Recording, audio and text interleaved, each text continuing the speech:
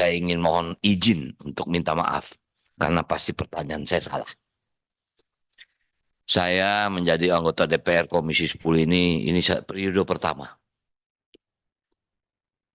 Tapi pada waktu saya menjadi anggota DPR, saya minta kepada Ibu Ketua Umum saya masuk di Komisi 10.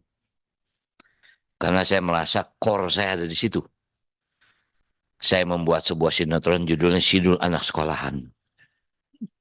Saya sangat tahu sekolah atau pendidikan itu sangat penting. Tapi Haji Sabeni, bapaknya Sidul, itu mengkuliahkan Sidul itu ngap-ngapan.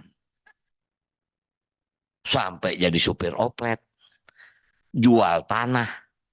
Itulah ilustrasi saya tentang dunia pendidikan di Indonesia. Saya awali dengan minta maaf, pasti pertanyaan saya salah.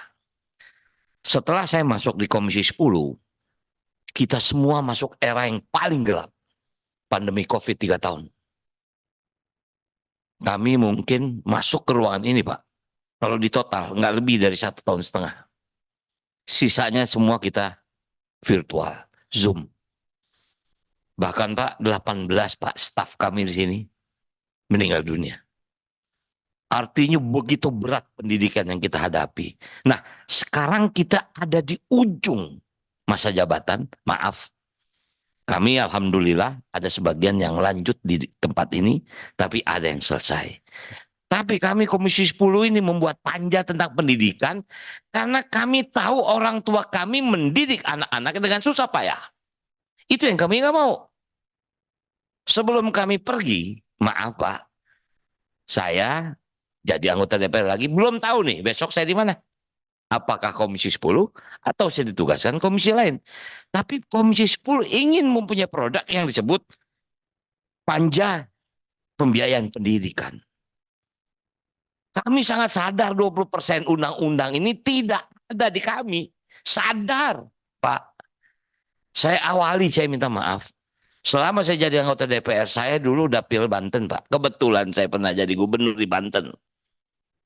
Kita tahu ilustrasi Banten sekolah religi mas madrasah banyak, pesantren banyak. Sebagai anggota Komisi 10, Pak, saya tidak bisa membantu.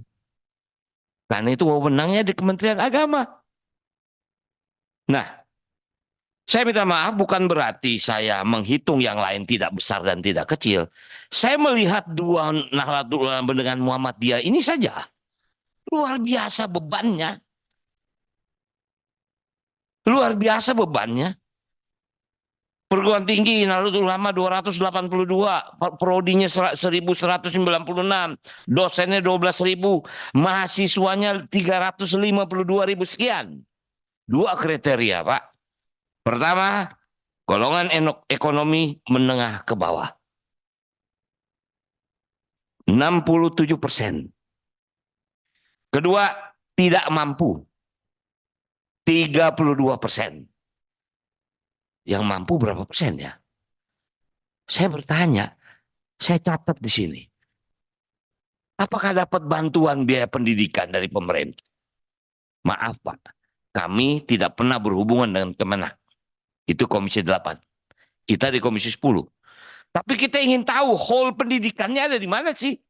Betul yang tadi Bapak bilang, STAN kuliah dibiayai, lulus pasti kerja, berebut menteri keuangan atau di pajak. Betul, eh, STPDN. Di semua fakultas ada gitu. Ini yang kira kita tanya, ini salahnya di mana sih? Bahkan kami Pak, untuk renovasi sekolah saja, kita nggak bisa punya fasilitas untuk membantu. Karena itu ada di PUPR. Banten banyak sekolah yang nggak ada WC Pak. Saya minta maaf dulu pada waktu saya jadi gubernur makanya bantuan provinsi kepada sekolah yang berbasis masyarakat ini maaf saya anggap cukup tinggi. Setelah itu tidak ada lagi Pak. Saya minta maaf Bapak boleh cek. Seumur terberdirinya Provinsi Banten dari tahun 2000 sejak Gubernur Rano Karno menjadi juara umum MTQ. Setelah itu sampai sekarang menjadi nomor 24 Pak.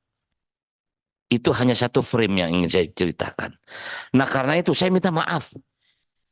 Muhammadiyah ini begini banyak. Maka saya, ini berapa besar bantuan negara? Kami punya aspirasi, Pak. Ada PIP, ada KIP. Tapi kita nggak bisa membantu anak-anak yang memang di sekolah agama. Ya, IN kita nggak bisa bantu. Nggak boleh.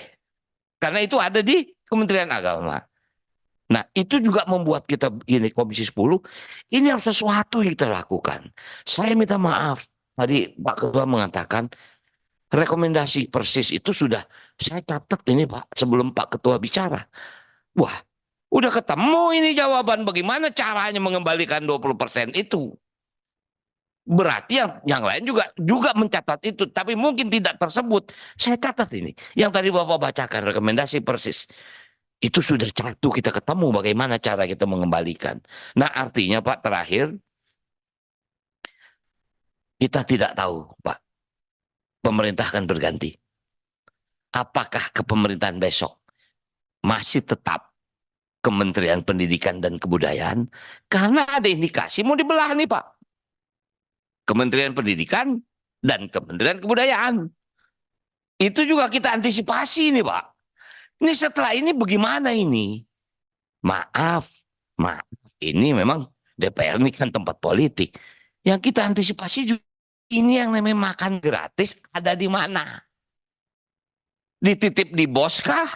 Bos aja segini apalagi ditambah lagi ini kan?